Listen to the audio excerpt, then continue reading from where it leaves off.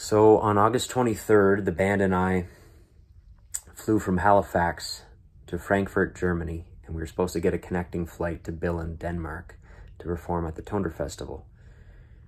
We ended up missing our connecting flight in Frankfurt because we were in the wrong line for security at the airport and we were told to remain there from one of the security agents. We didn't realize at the time there was a priority line that we should have been in because we had such a quick connecting flight. So we missed the flight and I reported to the partner airline to try to get us rebooked. I'd booked through Air Canada and when I went to the uh, partner airline ticket counter, she looked up the flight and said that since there was no delay, that it was not her fault and she wouldn't rebook us. So that put me out over $3,000, $3,027.56 to be exact, to buy five tickets from Frankfurt to Billund, Denmark. So I thought, okay, you know what? We're getting paid to do the festival. We're not going to make any money now, but it's a trip over. We get to play music. But it didn't end there. On the way back home, we got to the Billund airport to fly from Denmark back to Halifax. And when we got to the ticket counter, the lady informed us that our tickets were not in the system. And so she told us to contact Air Canada, which I did. And at this point, I'm on hold for over an hour. Our flight has left. Uh, she said that because we had missed a connecting flight, Air Canada had canceled the remainder of our trip. So that was all our return flights home. And I did not receive any notification of this cancellation. And also, I did report that we missed our connecting flight and they still would not rebook me.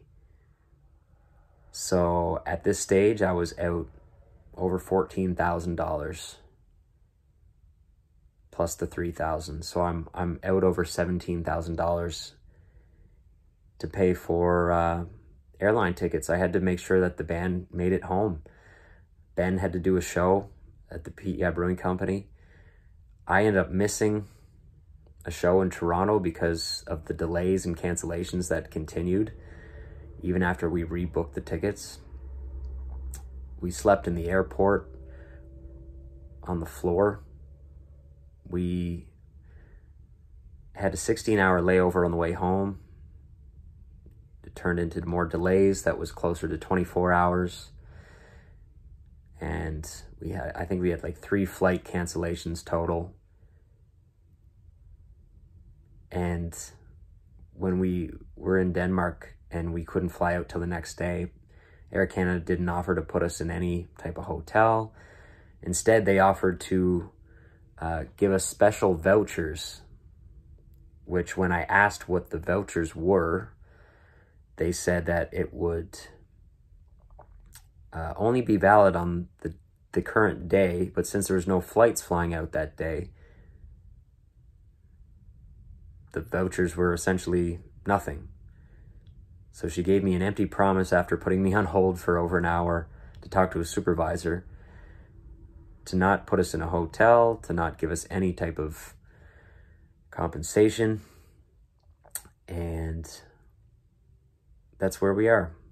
Um, over $17,000 in additional expenses. Um, I, I am currently in the process of submitting a claim with Air Canada, but since my flight had been canceled, my booking reference is no longer valid, so it's going to take me additional time to even open up a claim. I don't know how long that will take. Right now, I have all that money on my credit card, and I feel kind of helpless and sick about the whole experience. Um, I'm doing a GoFundMe, and this is this is not to make money off of. This is simply to help recoup some of the costs that um, we lost from the experience with Air Canada while the claim is pending. If Air Canada comes through and gives me any type of compensation, the GoFundMe will help to support what other compensation they won't provide if they choose not to fully compensate us.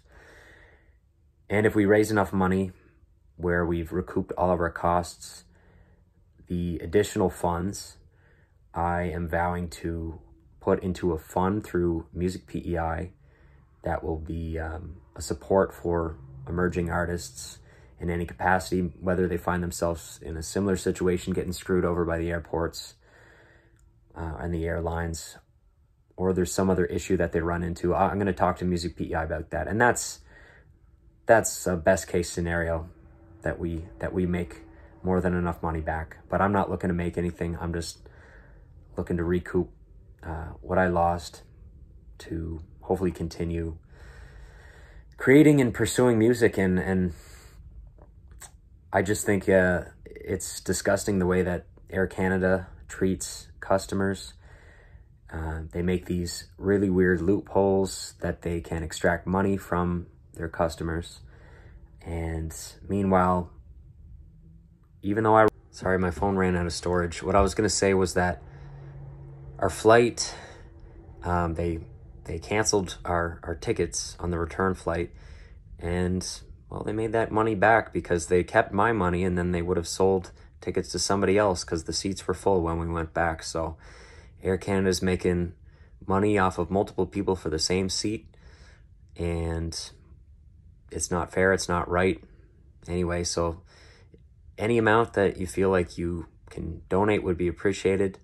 Uh, you know, we're, we're, we might look at doing a, a fundraiser show as well, so get a few bands together. I've been talking to some people about that. So we'll stay tuned for for some more info if if we decide to go that route as well to help try to recoup some of this. But uh, anyway, that's all I'll say for now. I got a lot more to say. I'm kind of holding my tongue a little bit, but thank you for your support and hopefully we get through this and we're able to continue on.